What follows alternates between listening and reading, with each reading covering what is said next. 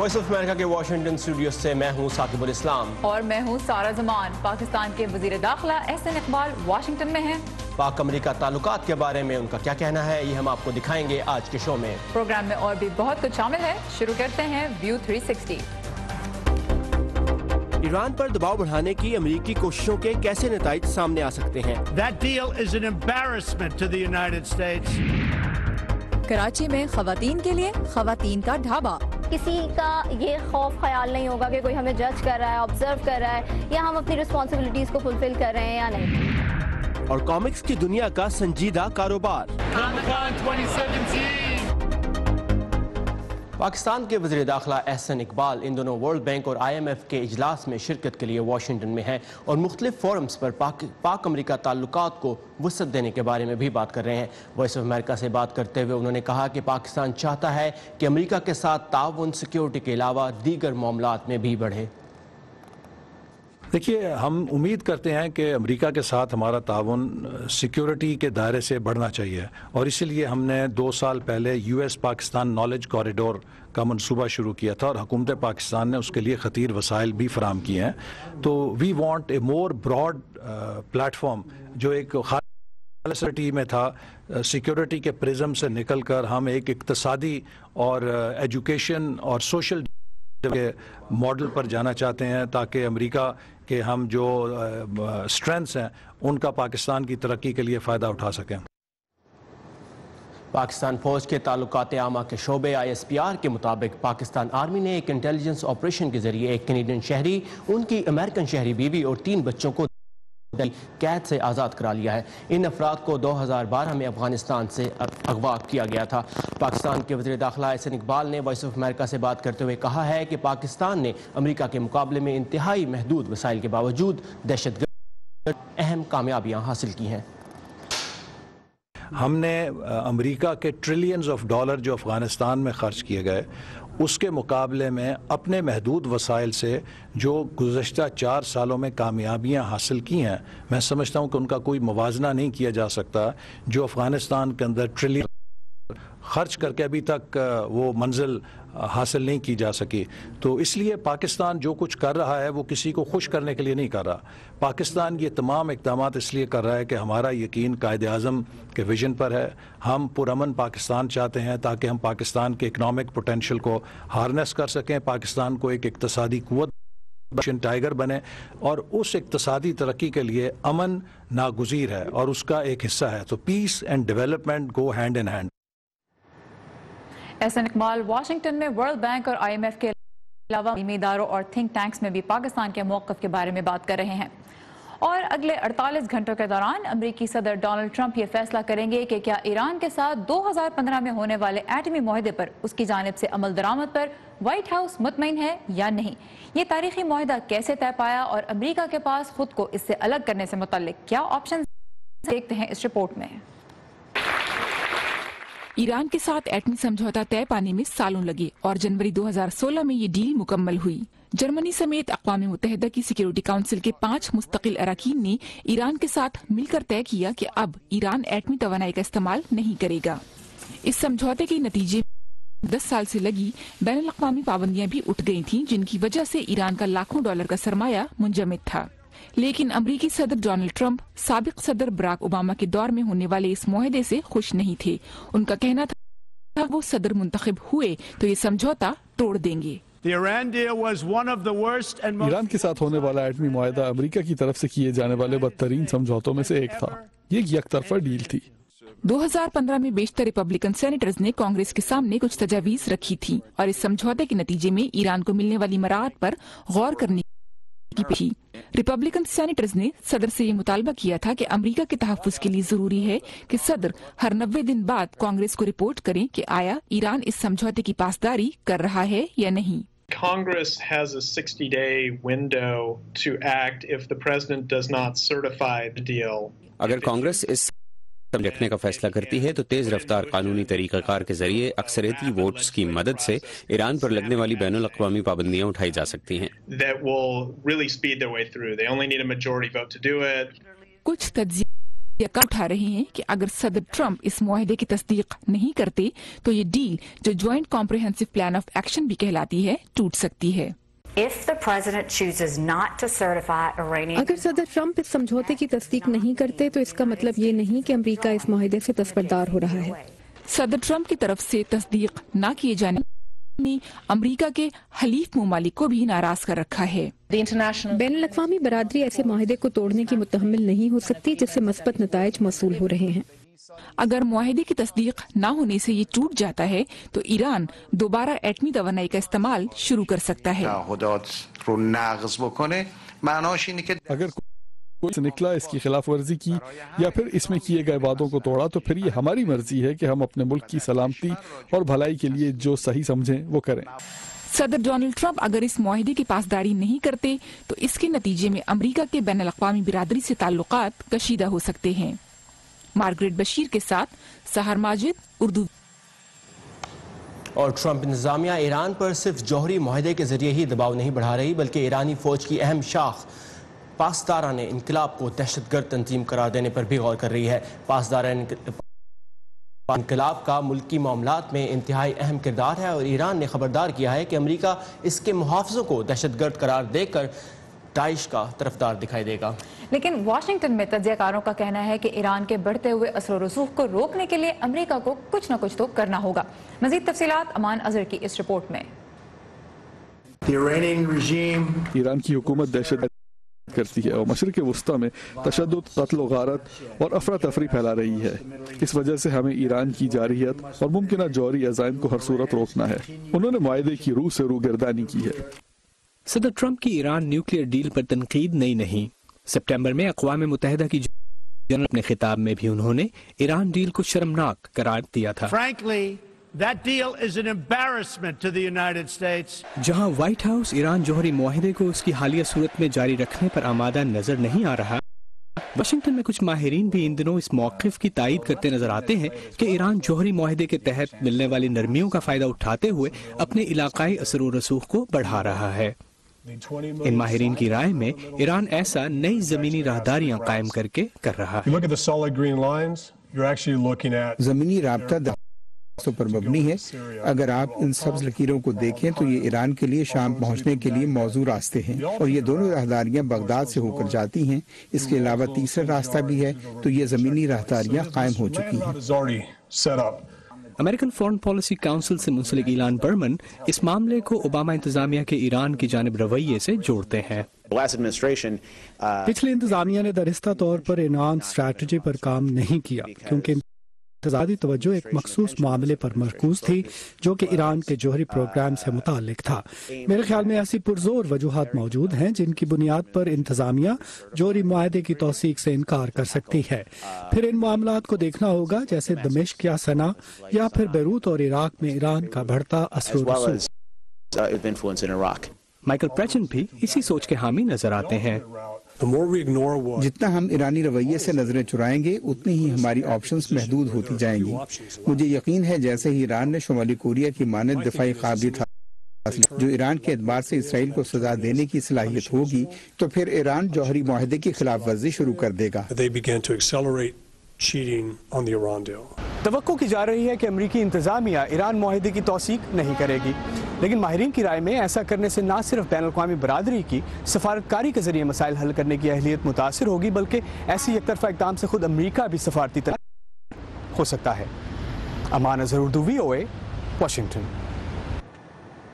और इराक के कुर्दिस्तान की हुकूमत गुजशत माह आज़ादी के हक में रेफरेंडम के बाद अब बगदाद की मरकजी हुकूमत से मुजाकर की कोशिश कर रही है। इस मुतनाज़ रेफरेंडम को इराक की मरकजी हुकूमत गैर आइनी करार देकर मुस्तरद कर चुकी है, जिसके बाद से बगदाद ने इराकी कुर्दिस्तान की सरहदों और एयरपोर्ट्स का कंट्रोल संभाल कर बैन अवी परवाजें मनसूख कर रखी हैं और बैंकों के साथ कारोबारी सरगर्मियाँ भी इंतहाई महदूद कर दी हैं।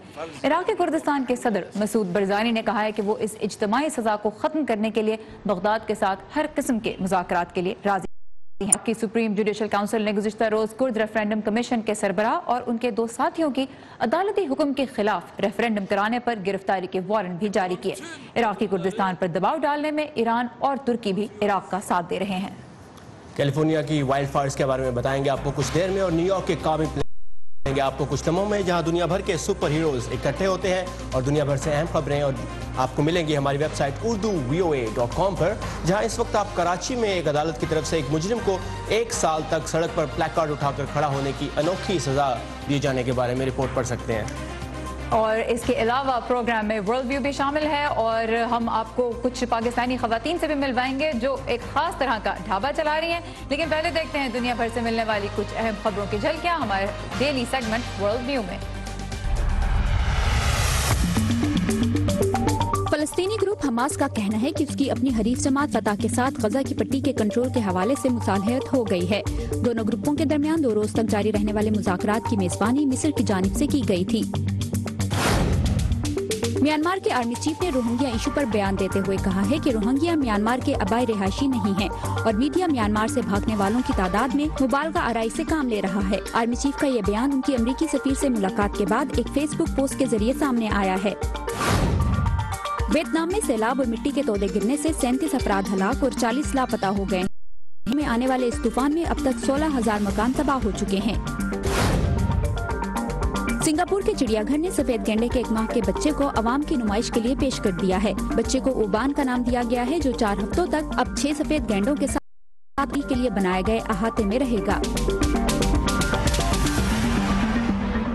अमरीकी रियासत कैलिफ़ोर्निया के शुमाली इलाके में 22 मुकामात पर कई रोज से आग भड़क रही है, जिस पर तेज हवाओं के बायस काबू नहीं पाया जा सका है। इस आफत से अब तक कम से कम तेईस अफराद हलाक और हज़ारों इमारतें जलकर खाक हो चुकी हैं। इस सरसब्ज शादाब इलाके का मंजर इस वक्त क्या है, देखते हैं आयशा खालिद की इस रिपोर्ट में।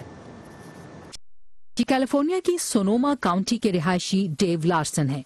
डेव कैलिफ़ोर्निया में बड़े पैमाने पर लगी आग से दरबदर होने वाले दसियों हज़ारों अमरीकियों में शामिल हैं। I had intentions of staying and fighting the fire, but there were मेरे घर के पीछे इतनी ज़्यादा आग लगी थी कि रात में दिन का समय था। मैं वहाँ रुककर आग का मुकाबला करना चाहता था लेकिन वहाँ हर तरफ़ बड़े बड़े अंगारे गिर रहे थे। मैंने बस अपना शिनाख्ती कार्ड और पासपोर्ट उठाया और अली को गाड़ी में वहाँ से निकल गया। मुझे अपनी बाकी बिल्लियाँ नहीं मिली। तीन घंटे बाद जब मैं वापस आया तो सब कुछ जल चुका था। मुतलिका एहलकारों के मुताबिक आग तकरीबन उनहत्तर हज़ार हेक्टेयर के रकबे में लगी हुई है जिससे साढ़े तीन हज़ार से ज़्यादा हो गई हैं। ये इलाका अपने अंगूरों के बागात के लिए दुनिया भर में मशहूर है। हुकाम के मुताबिक आग बुझाने की कार्रवाई में आठ हज़ार फाइटर्स और दीगर एहलकार हिस्सा ले रहे हैं। कैलिफ़ोर्निया की पड़ोसी रियासतों से भी फायर फाइटर्स आग बुझाने में मदद दे रहे हैं। हमने हवा के लिए सुर्ख झंडों की शक्ल में वार्निंग साइंस लगाए हैं। तो की जा रही है कि कई जगहों पर लगी आग एक बड़ी आग की शक्ल में आज इकट्ठी जलकर खत्म हो जाएँगे। इस वक्त हमारी ज़्यादा तवज्जो आग को फैलने से रोकने पर नहीं बल्कि इमारतों और दूसरी तनसीबात को इससे बचाने पर है। आग से होने वाले मुकम्मल अंदाज़ा लगाने में कई हफ़्ते लग सकते हैं लेकिन फ़िलहाल लोग इससे अपनी जानें बचाने की कोशिश में हैं। अमरीकी जरीदे फॉर्चून मैगजीन ने इस साल की बासर तरीन कारोबारी खवतान की लिस्ट जारी की है। इसमें मुसलसल तीसरी मरतबा अमरीका में गाड़ियाँ बनाने वाली कंपनी जनरल मोटर्स की पचपन साल चेयरपर्सन और सीईओ मैरी बैरा हैं। दूसरे नंबर पर पेप्सिको की भारतीय निजात अमरीकी सीईओ और चेयरपर्सन इंदिरा नुए जबकि हथियारों से लेकर फाइटर जेट्स बनाने वाली अमरीकी कंपनी लॉकीड मार्टिन की इकसठ साल सदर मेरलिन ह्यूसन तीसरे नंबर पर हैं। मैगजीन ने बैन स्पेन में बैंकिंग एग्जीक्यूटिव एना बोटन को कामयाब तरीन करार दिया है। और इस लिस्ट में जो खातन शामिल हैं, वो ऐसी हैं जिन्होंने अपनी ज़ाती ज़िंदगी और अपनी पेशा वराना लाइफ में बहुत से चैलेंजेस से गुजर कर देखा है और इसके बावजूद खुद को और अपनी कंपनीज़ को कामयाबी की बुलंदियों तक पहुँचाया है। बिल्कुल सारा, और पाकिस्तान में भी खातन अब नित नए कारोबार शुरू कर रही हैं, जिनमें कराची का खातन ढाबा। इसकी खास बात क्या है? आइए देखते हैं। एज अ वुमेन आप किसी रोड पे बैठ के तो एंजॉय नहीं कर सकते। ठीक है तो ये लेडीज़ ढाबे के हमारे पास प्लस बेनिफिट्स ये आए कि हम यहाँ पर बैठ के इजीली हर चीज़ को डिस्कस कर सकते हैं, हम किसी की भी डिस्कशंस में सकते हैं। कराची के पसमानदा इलाके माड़ीपुर में ये ढाबा कराची में नहीं, बल्कि पूरे पाकिस्तान में अपनी नौयत का पहला ढाबा है, जहाँ मर्दों का नहीं, खवतान का राज है।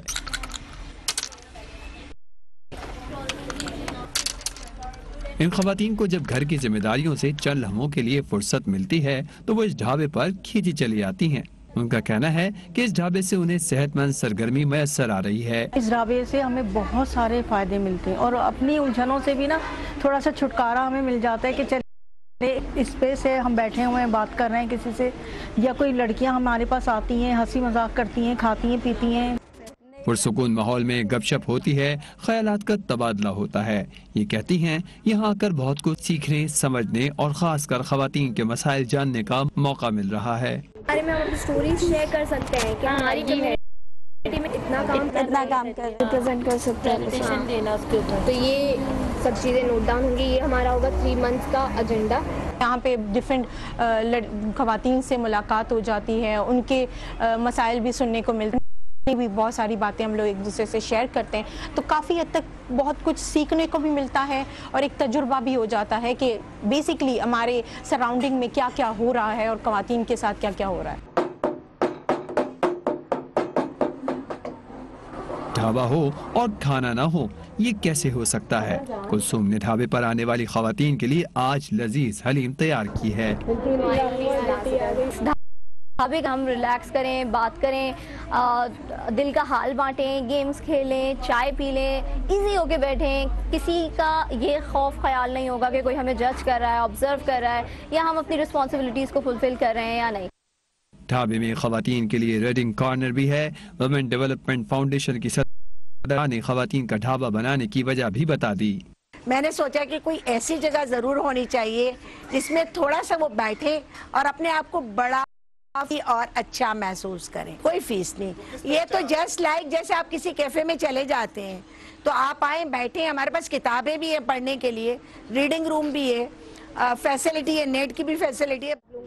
खातन की ख्वाहिश है कि अगर इस तरह के ढाबे दूसरे पसमानदा इलाकों में भी बना दिए जाएँ तो उन्हें खातन में उनके हकूक का शूर बेदार करने के काम में लाया जा सकता है और उनका एतमाद भी बढ़ाया जाए।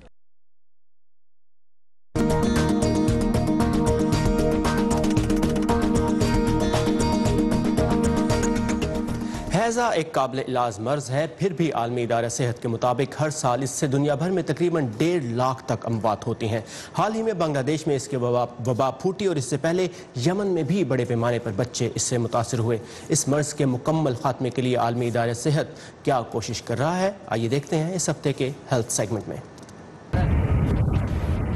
यमन में पीने का साफ़ पानी और इब्तदाई तिब्बी सहूलतें काफ़ी कम हैं। तकरीबन पाँच लाख अफराद इस मरज का शिकार हो चुके हैं और तो की जा रही है कि इस साल के अख्ताम तक इसमें मजीद इजाफा होगा। आलमी सतह पर हर साल एक लाख अफराद हैजे का शिकार होकर अपनी जान सकते हैं। हेल्थ वर्कर्स खदशे का इजहार कर रहे हैं कि ये वबा बांग्लादेश में रोहिंग्या कैंपों में फूट सकती है। डब्ल्यू एच ओ का मंसूबा है कि इस वबा को 2030 तक खत्म कर दिया जाए। ये मुमकिन नहीं कि वायरस को हमेशा के लिए पाक कर दिया जाए जैसा कि चीचक को खत्म किया गया। ताहम ये हो सकता है कि यमन अमेरिका और शुमारी अमेरिका की तरह बांग्लादेश में भी इसको कम तरीन सदा तक लाया जा सके। हैजा एक ऐसी बीमारी है जो खारी दरियाओं और साहिली पानियों में रहने वाले बैक्टीरिया से होती है और ये वबा वहाँ फैलती है जहाँ पानी को साफ़ करने का निज़ाम ठीक ना हो आपका निज़ाम खराब हो और सफ़ाई सुथराई ना हो। खुराक की कमी और बीमारी का एक ऐसा चक्कर है जहाँ मुतासर बच्चे पहले भूख लगना बंद हो जाती है फिर दस्तों की वजह से पानी की कमी हो जाती है फिर उनका वज़न कम हो जाता है और जब उनमें गजा की कमी हो जाती है तो वो कई और बीमारियों का आसान हदफ बन जाते हैं। ये बीमारी किसी को भी हो सकती है लेकिन बच्चे हामला खातन और मम्मर अफराद इसका आसान शिकार हैं। ताहम इसका इलाज अब भी ना ही मुश्किल है और ना ही महँगा। ही इसकी तशखीस हो जाए और शुरू में ही पानी की कमी पूरी कर दी जाए तो मर्ज शिद्दत इख्तियार नहीं करता और आसानी से इस पर काबू पाया जा सकता है। लेकिन सैलाबों, कुदरती आफात, जंगों और भीड़ वाली जगहों, मसलन पनाहगुजी कैंपों में हिफान सेहत के असूलों को मद्देनजर रखना मुश्किल होता है। पानी को सही काबिल नहीं बनाया जा सकता और न ही बाकी फुजले को सेहत के असूलों के मुताबिक ठिकाने लगाया जा सकता है। ताहम इंसानी हमदर्दी की तंजीमें बाकी इमदाद के साथ साथ ऐसे इलाकों में पानी की निकासी का निज़ाम दुरुस्त करने पर भी तवज्जो मरकूज कर रही हैं। डब्ल्यू एच ओ का कहना है कि आलमी सतह पर दो अरब अफराद की साफ़ पानी तक रसाई नहीं है। वैक्सीन इसमें मददगार हो सकती है। ताहम गरीब मुल्कों में हैजे से बचाव के लिए नकासी आप का बेहतर निज़ाम बहुत ज़रूरी है। बुनियादी तौर पर गुर्बत एक ऐसा फंदा है जिससे वो मुल्क कभी बाहर नहीं निकल सकते। ये एक ऐसी चीज़ है जिसे नकासी आपके बेहतर निज़ाम के ज़रिए ठीक किया जा सकता है। सैतालीस मुल्क हैजे से मुतासर हैं और डब्ल्यू एच ओ का कहना है कि पूरी दुनिया में ये वबा मजीद फैल सकती है। यही वजह है कि आलमी इदारा सेहत हुकूमतें और इमदादी इदारे हंगामी बुनियादों पर हैजे के खात्मे के लिए इकदाम कर रहे हैं। Sadia Asad Urdu V O A.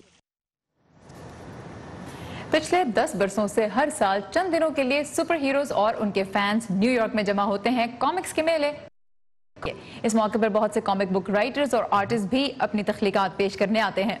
बिल्कुल सारा और इस हफ़्ते होने वाले न्यूयॉर्क कॉमिक कॉन में चलते हैं अंशुमन आपते के साथ और देखते हैं कि कॉमिक्स का बिज़नेस लोग कितनी संजीदगी से लेते हैं। चाहे फ्रेंडली नेबरहुड स्पाइडरमैन हो या चिमगादड़ के बहरूप में बैटमैन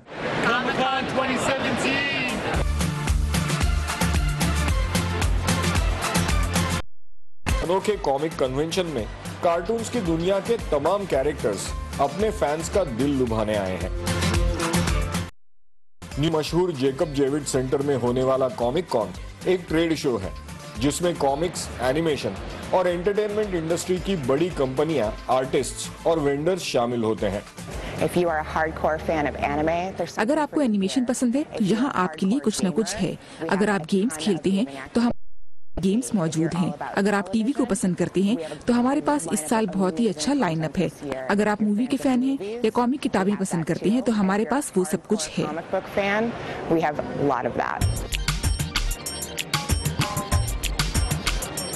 इस साल भी दुनिया भर के दर्जनों मुल्कों से आने वाले 1300 से भी ज़्यादा फनकारों ने हिस्सा लिया है। ये जर्मनी में काम करती है और मैं कनाडा में। लेकिन हम दोनों यहाँ इकट्ठे हुए हैं। यहाँ आपको इंडस्ट्री के बहुत से एडिटर्स और राइटर्स से मिलने का मौका मिलता है। इसलिए ये नए काम के मौके अच्छी जगह है।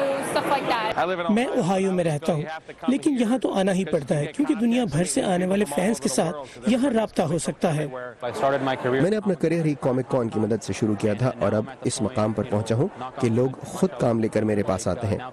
तो कॉमिक कॉन का बहुत ही फ़ायदा होता है।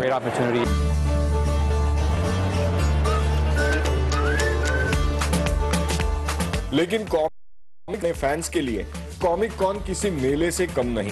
अपने पसंदीदा कैरेक्टर्स के लिबास पहनकर लाखों की तादाद में फैंस कॉमिक कॉन देखने आते हैं और अपनी फेवरेट कॉमिक्स गेम्स या टॉयज की शॉपिंग करते हैं। मैं डिज्नी प्रिंसेस एल्सा बनी हूँ और अपने छोटे कज़न के साथ यहाँ आई हूँ।